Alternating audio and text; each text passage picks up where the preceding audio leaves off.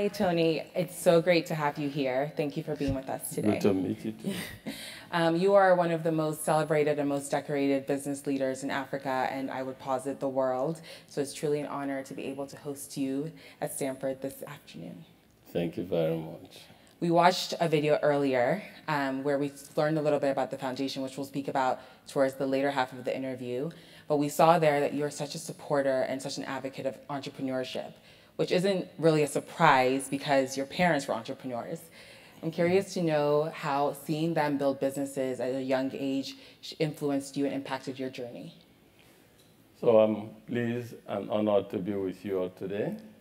Stanford, great university, and um, a team from this great university visited the Tony Elumelu Foundation uh, before the pandemic, I think. And uh, I was quite uh, impressed. They were on time, in spite of the, in spite of the chaotic uh, traffic situation in, in Lagos. And the research work, also very, very impressive.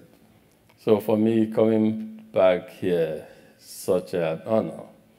Uh, have a great impression of your school. Entrepreneurship is, uh, is uh, in my DNA. I preach entrepreneurship. I encourage entrepreneurship. I also try to catalyze more entrepreneurs in Africa because in my own life journey, I've come to appreciate the significance and importance of entrepreneurship in transforming families, in transforming self, in transforming communities, in transforming communities, in transforming countries, societies, and humanity entirely. And when we founded the Tony Elumelu Foundation, it was driven by the need and urgency to help catalyze development in Africa at a scale that is sustainable realizing further that entrepreneurship is the way to that. I was privileged, lucky, blessed to have been mentored in this journey of entrepreneurship, first by my parents, especially my mom, who was an entrepreneur, small scale. but uh, the lessons I imbibed watching her, supporting her, continue to help me to date. And it's also critical in the message and advice I give to young entrepreneurs. I learned from her about hard work. She was extremely, extremely hardworking at the time. To date, she just turned 94 and she's still very hardworking she will cook for me when I call that. I said, uh, send your driver to come and pick food. And I'm like, Mom, I have so many people to cook for me. But that spirit in her remains ever so strong. She was disciplined. And I've come to realize that this journey of entrepreneurship, discipline, in fact, not just entrepreneurship, everything in life, discipline is critical for success. She was extremely tenacious. And I've come to see, and I preach it too, that the journey entrepreneurship is not a linear journey. It's up and down. But if you're tenacious, if you're resilient, you cross the finishing line. So those are part of the early learnings from my parents, my mom, my dad. Long ago, told us. And the reason is, in my brain to date, that if you earn a dollar and you're unable to save, if you earn a billion dollars, you will not save anything. So that, for me, is the first lesson in capital formation. Capital formation starts from savings. If you do not save, you don't have money to invest. If you don't invest, you remain where you are. And so these lessons have helped me in this journey of entrepreneurship. So let's fast forward a few years. You graduate um, from university with a, master, a bachelor's and a master's degree in economics. You then proceed to become one of the youngest bank branch managers in Nigeria, typically a job reserved for people who are in their 50s or 60s. You become the managing director of one of the most one of the biggest banks in Nigeria. And then 2005 comes around and you are being asked to help lead what becomes like the biggest merger in Nigeria's corporate history. What were some of the challenges that you faced during that time and which leadership principles did you stay rooted in as you were guiding this process? At the time, uh, quite a lot of challenges, but uh, just to contextualize so I understand it, we took over a distressed bank called Standard Trust Bank in 1997. And in 2005, we merged Standard Trust Bank and United Bank for Africa. But before the merger, there was an acquisition. Standard Trust acquiring significant interest in United Bank for Africa. Then we merged, and I emerged as CEO. So first, you saw United Bank for Africa as almost 70 years old as an institution, and uh, kicked and set ways of doing things. Then digital adoption was not uh, so strong. And so at times it took people months to read mails, emails. and uh, you, in terms of service delivery, those days the old generation banks were not so strong on service delivery. And we were coming from a bank that was so strong in service delivery and technology, young people, etc. So a bank with size of uh, less than 1,800 people, and the United Bank of Africa had about 12,000 staff. These 1,800 younger, technologically advanced, and this other one older and very big bank. So it was not easy integrating because as you see, corporate measures the legal combination is not the issue. The difficult part is the people integration, the culture integration. That is the top part. And so, and if you can see from history, most corporate institutions, it takes so many years to integrate people and culture. And if you do not integrate people and culture properly, you lose the major value levers. And so we were mindful of this and wanted to make sure we were able to merge, integrate. And this is a financial institution that was like, you merge, they want, customers don't care whether they want to be served. Same institution, they moved on. So it's a tough integrating our people, merging our people, merging cultures, old culture state, uh, uh, set in their ways, and a vibrant younger culture. But therein lies the interesting aspect of the combination of the job. I say to people, my elder brother, who is uh, seven years older than me, he doesn't have gray hair. I have gray hair. My gray hair started from the, the merger because uh, making it work, serving your customers, making sure that everyone in the universe of the institution, which was, uh, we had 428 branches at the time, that uh, it was same level of service across board. Customers of standard trust bank that were used to a certain level of service delivery, you will not want them to come to the new institution and have a drop. So we just have to make sure that service will put our customers first. And that's why today United Bank for Africa, which interestingly has grown mm -hmm. from a one country bank to a bank that operates in 20 African countries, with presence also in, in, Paris, London, recently Dubai, and the only African bank that operates in U.S. with a, as a deposit-taking institution. It started small, it's grown that big, and that experience during the merger continued to guide what we do, especially how we prioritize our customers, and how to prioritize our people. So I would say the biggest lesson from that combination was making our people, integrating our people and culture, uh, was realizing that, especially in the service sector, where you sell intangible, so to speak, it is very important that your core army, your workforce, that they are fully aligned, totally integrated, and positively mobilized and motivated. If you lack this, you can make progress. And those lessons from the early days, you know, resilience, hard work, discipline, staying focused, prioritizing people, have all helped us in creating today's United Bank for Africa. And as you mentioned, you all were able to do that very successfully. You expanded from being a single country bank to one that operates in more than in 20 countries in Africa and then has um, an impact and influence and reach in other countries as well. Many of us are interested in working in emerging markets or are building, developing products or services for emerging markets or one emerging market to begin with.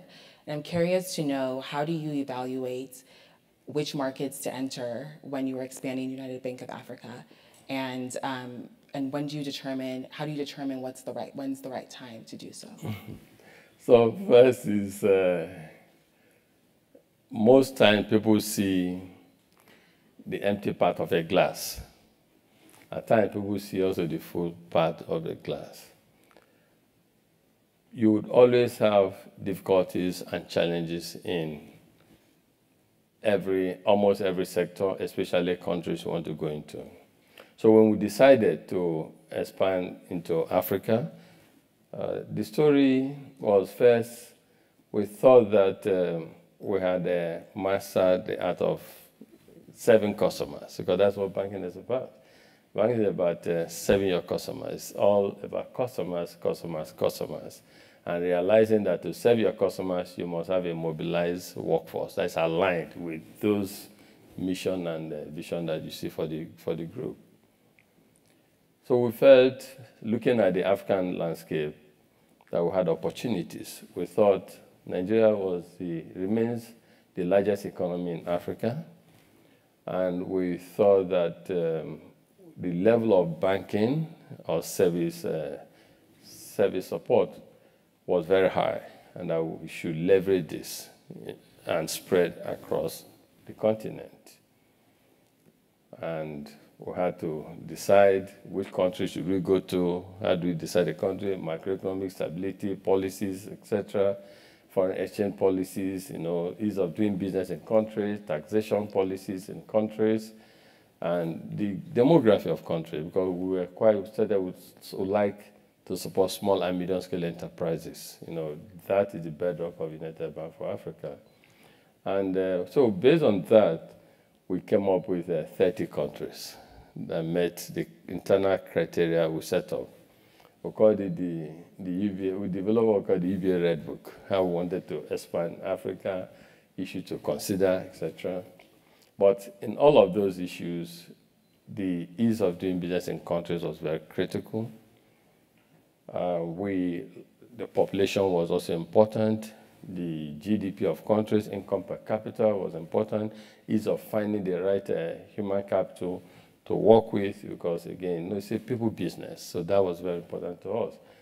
And we came up with all of this. We now tiered it. we have what we call it, what we developed what we call the three-tier strategic intent.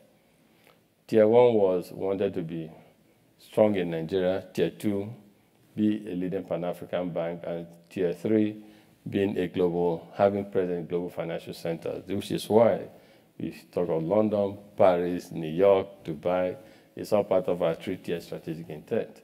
The second one, therefore, was orchestrating our expansion in Africa.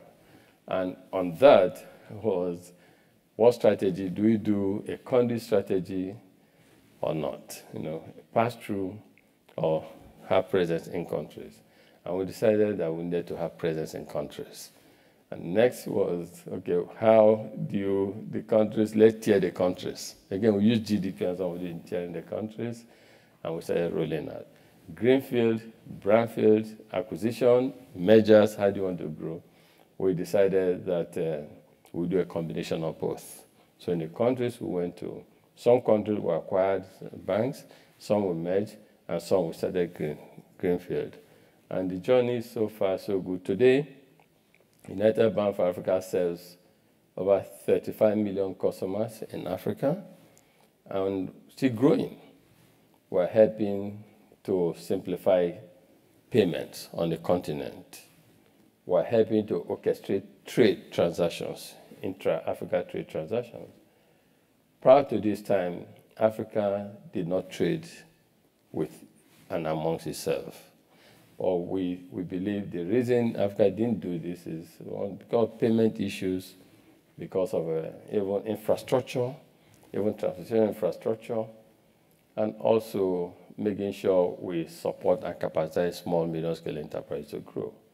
So UBA has, has done quite a bit in this uh, space, and most importantly, financial inclusion, trying to make sure that everyone, a continent with over 1 billion people, the banking population is not so high.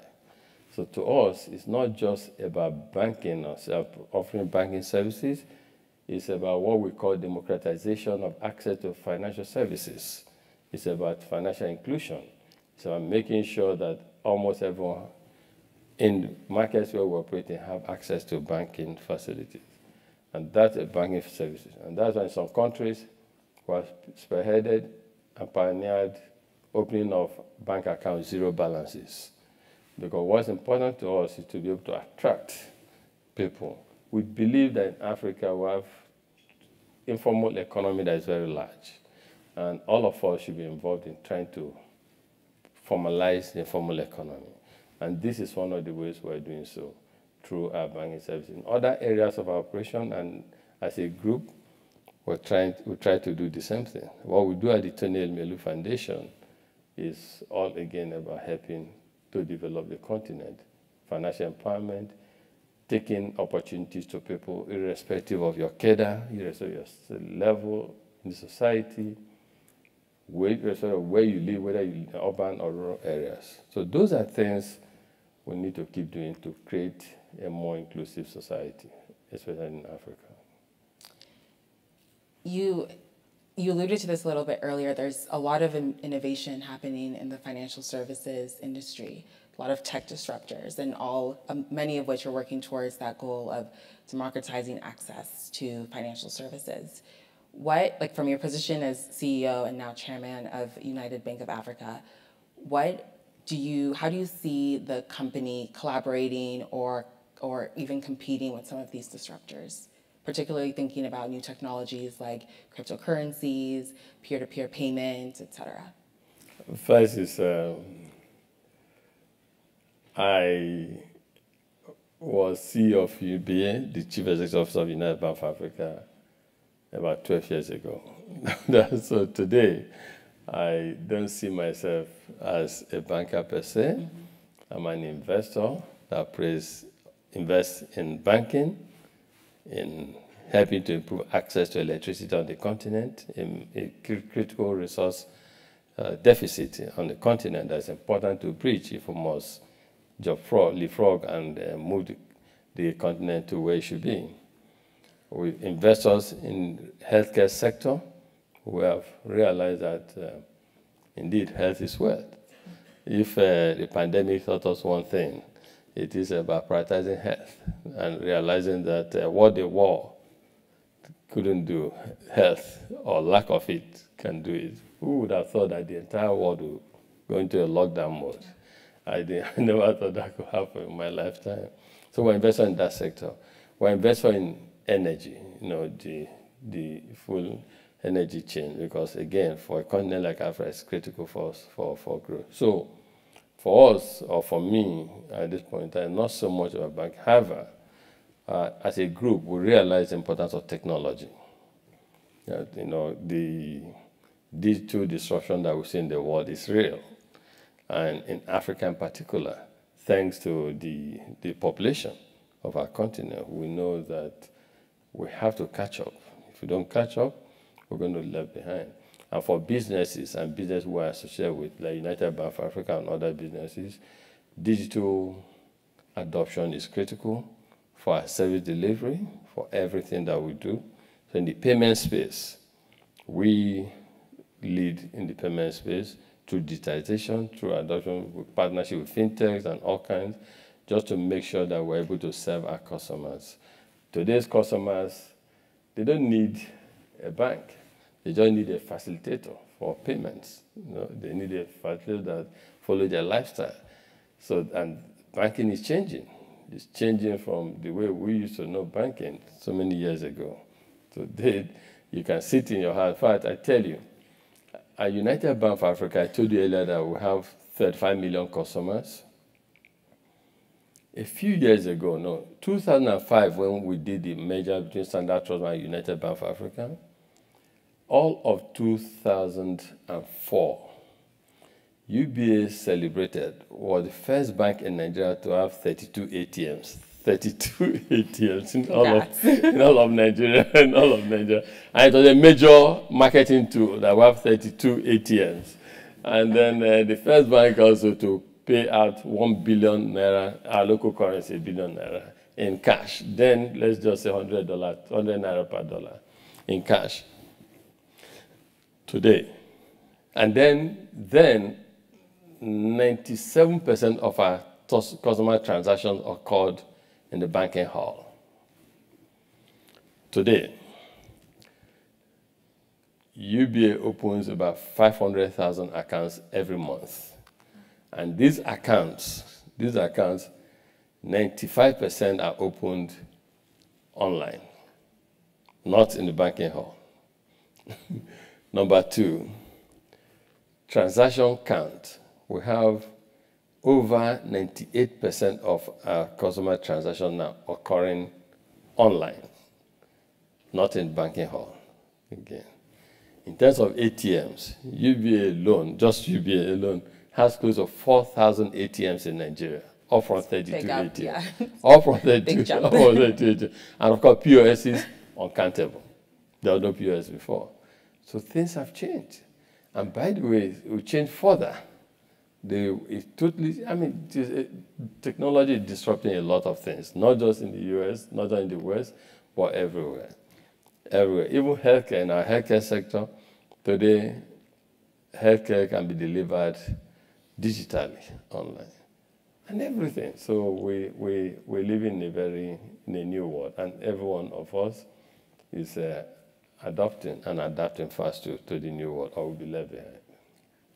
You mentioned energy a little earlier, which makes me nervous because it seems as though you're reading my mind, because that's where I want to go next. um, last year, the Africa Energy Chamber recognized you as one of the 25 most influential individuals in shaping Africa's energy sector. I'm curious to know, especially knowing that at Stanford, sustainability and energy renew- and renewable energy and energy more broadly is a really important subject that gets studied here and talked about a lot. Um, what are the most pressing issues and solutions being discussed right now as it relates to energy in Africa? And also, I would love to know a little bit more about the work that you're doing. I think I believe through Transcorp to address this. So, access to electricity is extremely poor in Africa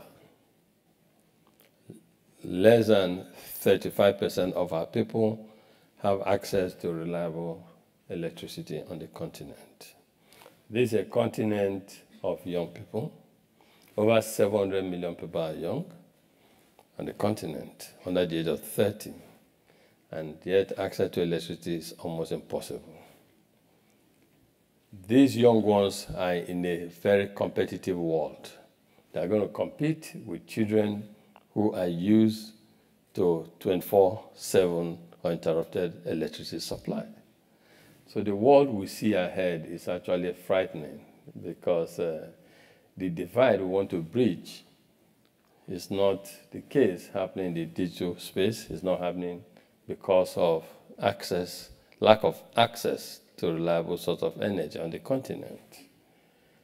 And from the work we do at the Tony Elumelu Foundation, from our close interaction with young Africans, male, female, we know, we can tell, we see, we hear, listen to them, that access to electricity is a major hindrance, constraint on their ability to succeed. This is why most, I'm sure Stanford, you must have seen this in your business uh, research studies that most small and medium scale enterprise on the continent die. They don't succeed. and single most important factor for this due to poor access to electricity. So to us as a group, we believe in the concept and philosophy of Africapitalism, which is uh, call on the private sector to play some role in developing our continent. It's a, a realization that the private sector has a role to play in developing the continent. And in practicalizing this, and not just speaking to it, we decided that the power sector was critical for us to invest in. And so we mobilized resources and invested in this space. Today, we have capacity to generate about 2,000 megawatts of electricity, but we have some other hindrances like gas supply and grid connectivity. So we're able to generate about 700 megawatts out of the capacity of 2,000. But we're happy that we're playing a key role in this area. But my message always has been to investors. We've, been on this trip, we started from Washington, we've been to New York, we interacted a lot with investors in New York. When uh, LA, we attended the Milken Institute which had a gathering of uh, global asset managers and fund managers. And message, my message has been consistent. We have opportunities in Africa. There's huge opportunity in Africa, huge population. Our income per capita has improved, it's improving. And we lack access to electricity on the continent. So as the world mobilizes towards a more inclusive society, as the world mobilizes through to a more prosperous world, I always like to remind people that we cannot have that prosperity across the world if we not deal with the issue of access to electricity on the African continent. The reason we have youth unemployment in Africa is attributable to this. The reason we have youth restiveness in Africa is attributable to this. The reason some embrace extremism is attributable to this. In fact, government's ability to cover and fight extremism is also limited by this. So at times you see communities and large spaces that do not feel any impact of government or society because there's no access to electricity. So it's a major, for me, it's not just an investment you know, a commercial investment is, um, is what we should be doing in the 21st century to help improve access to electricity. And yeah, I can never shout or say it enough. And I want to have more people in this, in this crusade, that all of us, those who have capital, should look at investing in Africa. There are opportunities there. And those who have voices, let's keep shouting to attract attention, or those who have deep pockets, so that collectively all of us can make a difference in Africa. I want to stay a little bit, I want to spend some time on what you mentioned earlier, Africapitalism, which you are known across Nigeria and other countries as well, of being a strong proponent of, and you've detailed here. I'm curious to know why you believe that Africa needs to take a unique approach to capitalism. Well, it's not a unique approach to capitalism per se. It's for me a realization. Okay, so at times you there's this um, entitlement mentality that people have. Okay, we should be helped we should be supported, we should be developed. but for Christ's sake, you know, I mean, it can't be like that forever. We need to help ourselves too. So it's a realization that come. The private sector has also grown, is growing. We need government to prioritize, we need government to create the right environment for private sector to keep doing well. But the private sector also must be sensible and reasonable and conscientious in how we do things, okay? We, we should invest in a manner that helps to catalyze prosperity. We should invest in a manner that helps to, to create social equity, social wealth. We should invest in a manner that helps to create inclusiveness. So this is not just about a new form of capitalism or the other. It's more about how the fact that the private sector should play a role in helping to develop the economy. And let's stop blaming others for our woes. Let's stop blaming others for everything. Let's lead, and hopefully they follow. And I've seen it happen. You know, some of the investments we have made, we did not invest all the capital ourselves. We reached out. And we see that the world we live in is becoming highly interdependent. And people are also beginning to listen, especially if we show good example. Okay. So it's a call on all of us, sector, whether in Africa, outside the world, that we have a role to play. In advanced society, again, the meeting I attended in LA, it all has different names today. You know, um, patient capital, impact investing, um, shared prosperity, mutual destinies. We just need to invest in a manner that's not just about profits for the investors. We should invest in a manner that creates mutual benefits for everyone, for the investors, for communities where you do business in, for society at large. The fact that we do what we do at the Tony Elumelu Foundation, committing 100 million US dollars to supporting the next generation of African entrepreneurs, it's not because we have so much money. But we also know that some of the basic needs we want to have are provided. So it's not about what we have in the bank accounts. It's about that thing that's in the bank account. How can we take a part of it and share? Not for me, not even sharing in a manner that creates a dependency, perpetual dependency. No, in a manner that makes you stand on your own, makes you self-reliant. And so when we say we'll give non-refundable seed capital of $5,000. And when we do so, and to date, over 16,000 Africans have benefited from that program. It is not to encourage laziness, no. But we know when San Francisco, where in tech uh, environment, we know some started with less than $5,000, but today they've grown big. So we just want to give young Africans access, opportunity, opportunity to prove their concept and then let others see them as good and come and invest in them. So we need all, the private sector playing a role. We need everyone. We need private sector looking at critical sectors. Today, we talked, I just spoke about electricity. Instead of people keeping their monies in bank accounts abroad, why don't you bring your money to invest in the electric sector on the continent? You make more money, but you also impact society in a more positive way. That is the, the entire essence of it. So we, we need more private sector leaders showing the way. But we need also our public sector leaders creating the right environment that will enable the private sector to do. And we need Friends of Africa development partners to also begin to look at how, how they intervene, how they engage, and how they give in the 21st century with the aim to create self-reliance and independence rather than perpetuating uh, this syndrome of uh, dependency. Now, Tony, typically when people retire from very high stress jobs, such as being the CEO of one of the largest banks in Africa, they take a vacation. Um, you instead decided to found a company, Heirs Holding, and also the foundation that you've alluded to. I'm curious, this was back, this was a few years ago.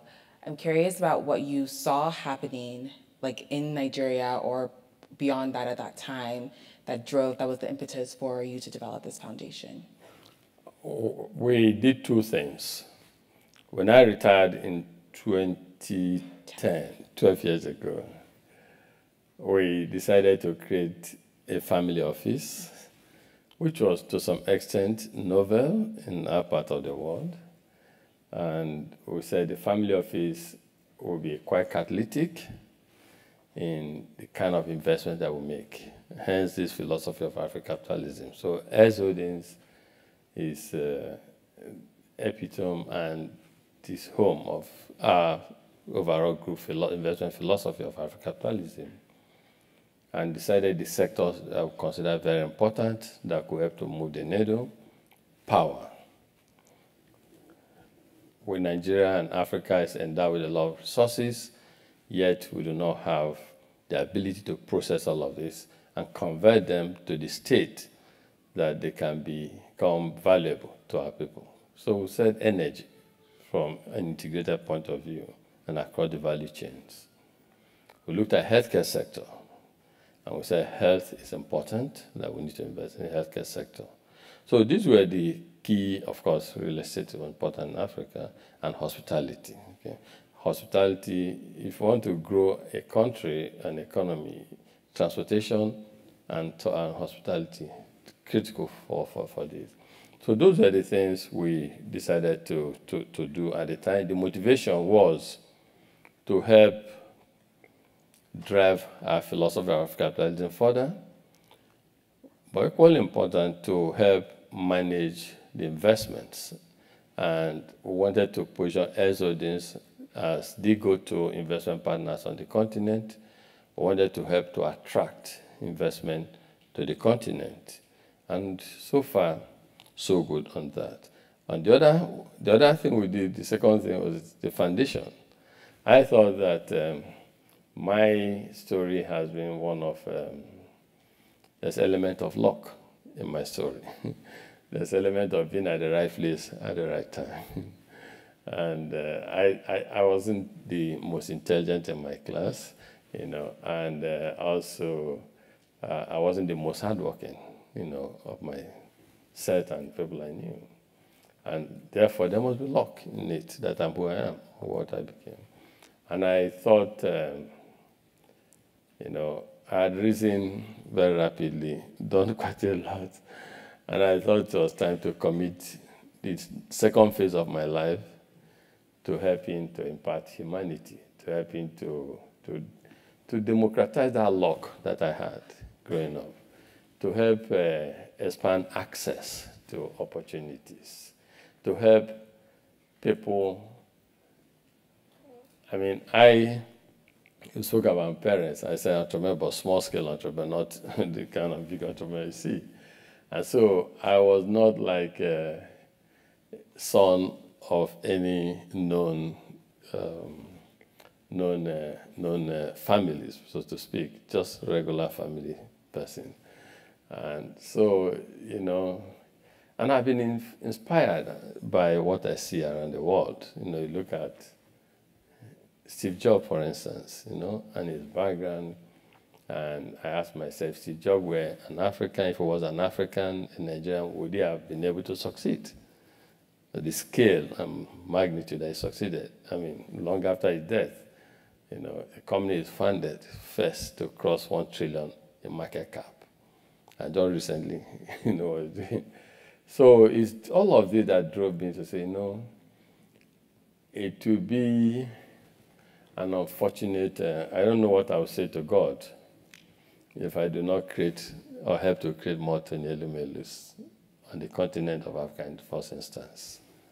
And that was what drove, drove um, my wife and I at the time to decide that um, we should commit 100 million US dollars to helping to identify, support, and empower the next generation of African leaders, and to do it at the scale and magnitude that's never been done before. Um, given that we do business in many African countries, we decided it should not just be about Nigeria, it should be about Africa. Given that uh, we know that poverty anywhere is a threat to all of us everywhere, we decided to make sure that it's broader. And so that is why we started the Tony Elumelu Foundation. So the motivation for starting the Tony Elumelu Foundation is to help democratize luck, create access to people. Whether or not you are a big man child or a poor man child, you have ideas, you're enthusiastic, you're committed, you're ambitious, apply. And it's sector agnostic. I will give you opportunity. And so when I look back today, I see that as a major, a major achievement, what we have done. The happiness I see on the faces of these young Africans um, keeps me going. So my final question for you, you seem to be a nation in and of yourself. Through the foundation, you've worked with local governments, international governing bodies um, to help move capital where it's most needed. And so I'm sure you've heard it asked many times before. Nigeria is now in its election season. I will join the chorus. Why aren't you running for president? oh, wow. I didn't see that coming. When she was asking me when she was coming. I think uh, first is um,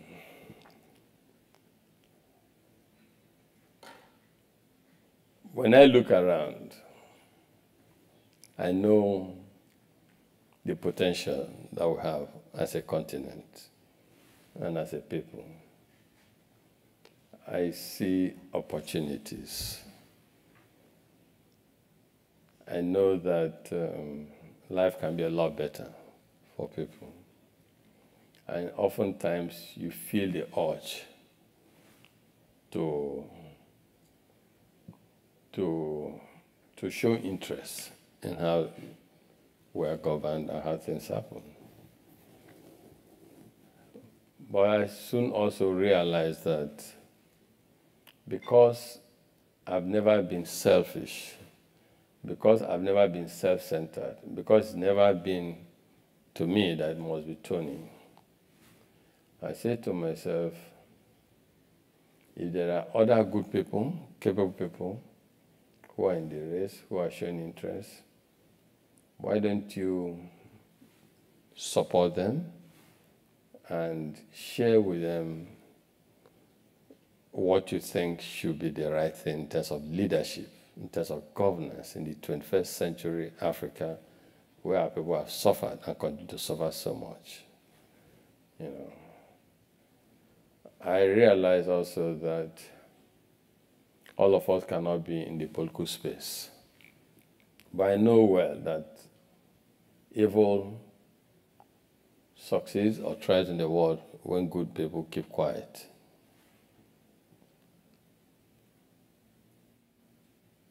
So I say to myself, just the way I'm committed to entrepreneurship, the way I'm committed to helping to empower young Africans,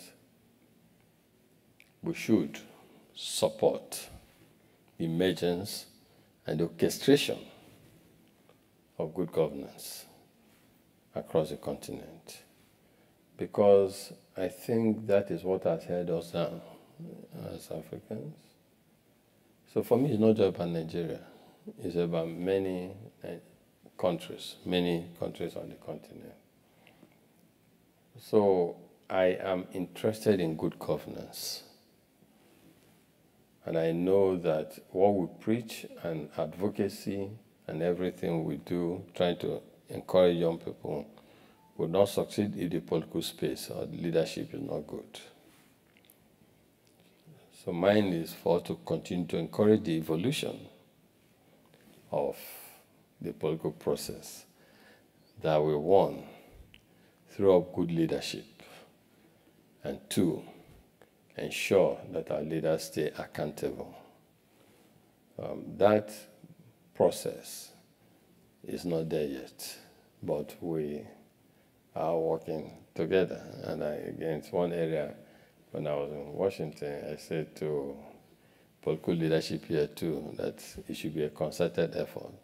You should encourage people on the continent to do what is right, even as we also from the continent continue to speak and have on good governance and accountability. Thank you so much, Tony. That was amazing. And typically, we like to close with a lightning round of questions. So I have four for you, and sure. I'm going to say them, and you have to answer as quickly as possible. Hence the lightning part. Okay. Um, so outside of aside from Palo Alto, California, what's your favorite place to visit? I didn't hear that. Sorry. What's your favorite place to travel to? Oh, Asa. I just came from LA, Los Angeles. I love Los Angeles. More than San Francisco. No, no, you didn't say more than. He said, he said aside from. He said aside from. he didn't say more than. Um, now with Nigeria out of the World Cup, who are you rooting for? Wow. Even my my boys were they were like crying when they dropped. I think uh, I think Nigeria is uh, Senegal. Okay. Senegal. Safe choice. Senegal. Um, what, Ah, who's uh, who's from Senegal? That's um, what is your favorite WizKid song? Hit song, Which What's your favorite WizKid? whiskey song. Ojuelegba. you don't know that. I don't know it. Can you- But one of the can you show us- can you tell us how it Who goes? has the iPhone here? You want me to, you want to play Ojo maybe on my phone? Sing a few. um, and last question, what are you most grateful for? Oh. I'm grateful to God for my wife and family and children. I think, uh, you know, you can't do well in life if you don't have a home that's at peace. I do have a very peaceful home, and my children are reinforcing too. So I'm grateful to God for that. Thank you so much. Thank you.